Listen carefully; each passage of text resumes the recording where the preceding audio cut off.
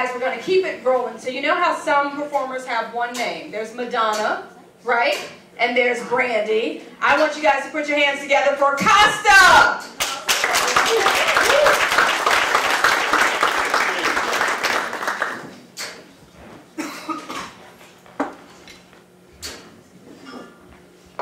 All my life, I've been different. I'm Greek, born in South Africa. And you know when the teacher asks you to stand up on the first day of school and say your full name? And the kids are getting up, Joe Kaplan, Nancy Hamilton, Jeff Jones. And then it's my turn.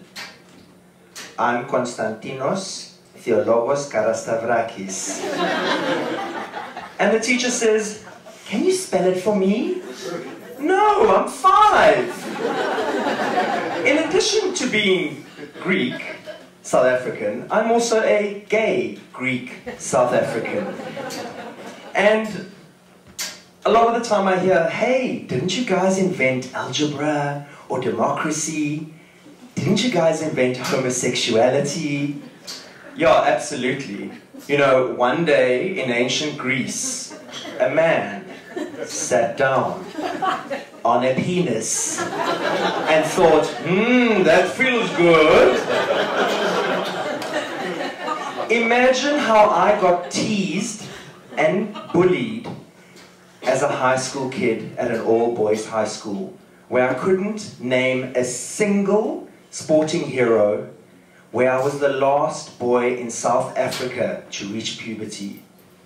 And when eventually I did reach puberty, I walked into a classroom, my balls had dropped, my voice had deepened to present a paper on Alexander the Great, homosexual.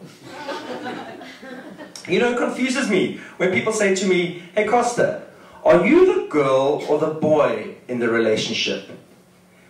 Do you mean do I give it in the bum or take it? And what if I do both? Does that make me bisexual? Or when people say to me, so Costa, what made you gay?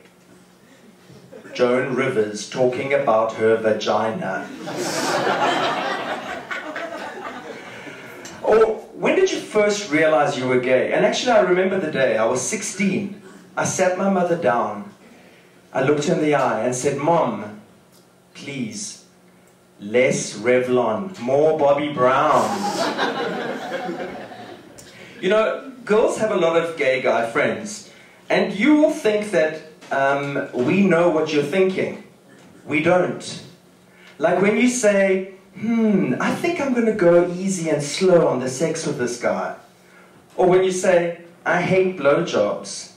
And we also really don't know what you mean when you say, oh, it just slides in. Mm-hmm. so I belong to a 12-step drug recovery program, and uh, even there I feel different. You know, I sit there sometimes hearing people say, I'm so grateful that the urge to use drugs been, has been lifted by sitting in the circle. And all I'm thinking is, sitting in the circle, I want to do lines. So my psychiatrist has me on antidepressants. And what really annoys me is my friends judge me, okay? They judge me and say that by taking the medication, I haven't really stopped taking drugs. But what they don't realize is that the medication takes over a month to kick in. So let's imagine cocaine were the same. Hmm, I feel like getting wasted around the end of January.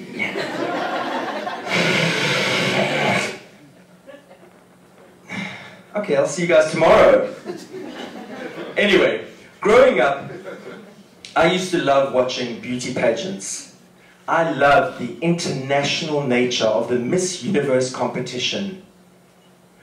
A competition that prepared and inspired a lot of gay men for careers in airline service. And watching a lot of these, as a result of watching a lot of these Miss Universe contests, I excelled at school in geography. I learned the capital city of every country in the world thanks to the parade of nations where every beauty queen would come down and introduce herself. So in fifth grade, I'm sitting in class and the teacher asks, what is the capital city of the Dominican Republic? And I put up my hand and I say,